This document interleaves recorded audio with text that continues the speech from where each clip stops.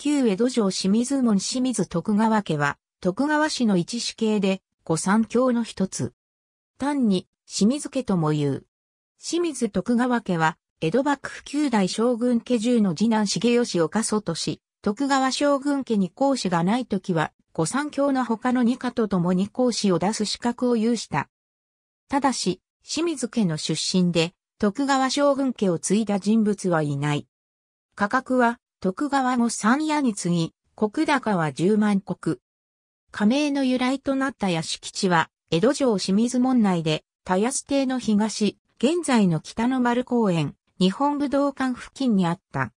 維新後は、元の下屋敷の一つであった、感染園に邸宅を構えていた。重吉は、法暦三年に、まかない料三万票を与えられ、1757年に、五種二名が付けられ、1758年に、清水門内に定地を与えられた。1759年、元服して、宮内卿を称し、まかない料1万5千秒加増されて、館に移った。1762年、新規に、まかない料領地10万国を、武蔵、上総、下総、海、大和、泉、播磨の7カ国に与えられた。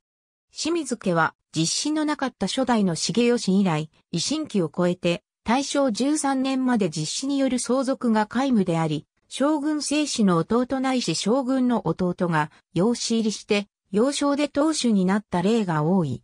加えて、御三夜に転出した当主が相次いだこともあって一時的な断絶を繰り返しており、御三教の中で最も出入りが激しい家でもある。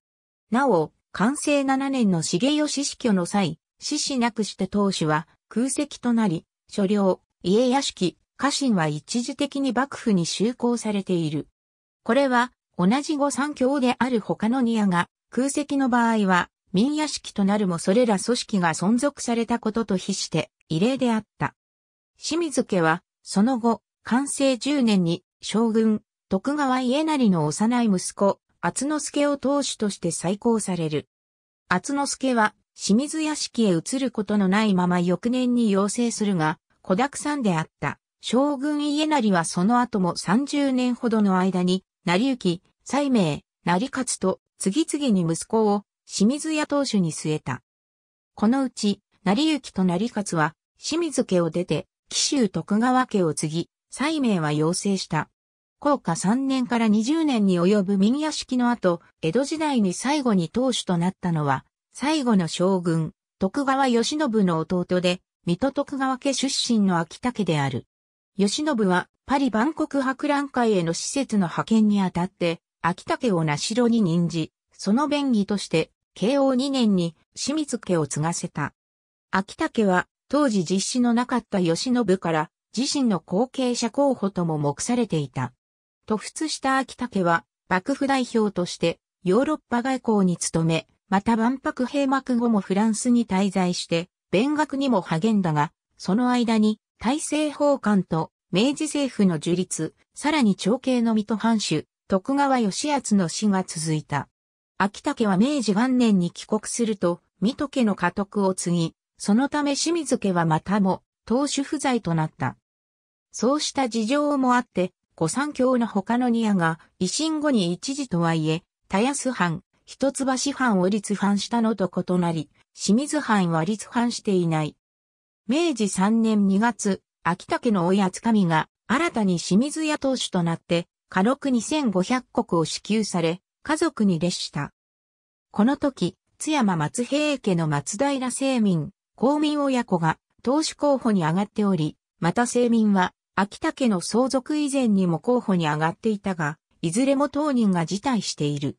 厚志守は相続の際に清水姓に改めたが、明治10年には徳川姓に服している。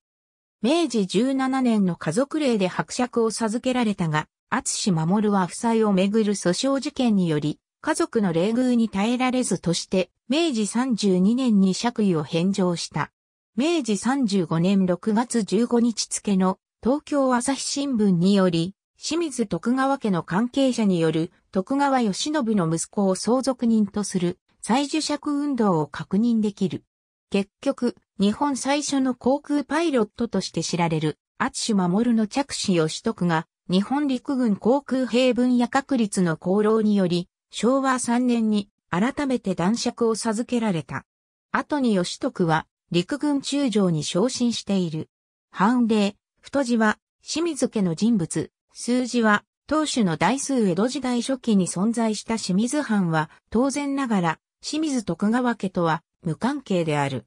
吉井子爵家分家。子爵、吉井新報の弟。ありがとうございます。